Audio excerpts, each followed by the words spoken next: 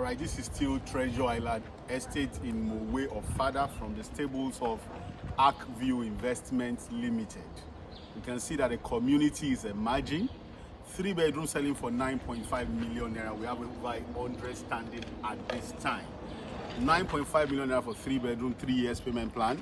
And we also have a lot of two bedrooms, as you can see, selling for 6.5 million naira. Also three years payment plan. Again, I'm saying the community is emerging just in two years. We've done this. We are still working. The next three years, we are going to have 1,000 housing units in this estate.